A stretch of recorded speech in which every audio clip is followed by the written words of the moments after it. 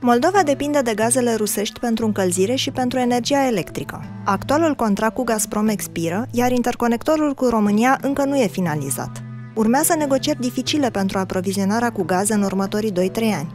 Între timp, Ucraina a declarat că poate furniza gaze Moldovei într-o situație de criză, ceea ce ar ajuta Moldova și să nu negocieze cu Gazprom din genunchi. Ce e de făcut? În noul contract cu Gazprom să nu existe prevederi care ar putea împiedica intrarea în piața altor furnizori din România și Ucraina în anii următori. Trebuie aplicate până la capăt regulile europene în energie care privesc separarea furnizorilor de rețele, pentru ca Gazprom să nu poată controla accesul concurenților la rețeaua de gaze.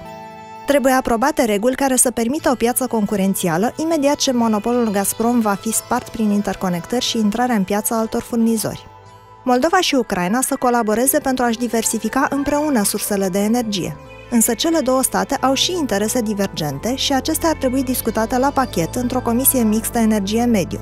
E necesară armonizarea legilor, regulilor și tarifelor care să permită intrarea gazelor în Moldova, identificarea obstacolelor tehnice în calea fluxurilor de gaze și a investițiilor pentru a le înlătura, un calendar realist pentru conectarea simultană a Moldovei și Ucrainei la sistemul european de energie electrică și negocierea unor variante acceptabile privind complexul hidroenergetic ucrainean de pe Nistru, respectând regulile europene de mediu și drepturile cetățenilor moldoveni la apă potabilă.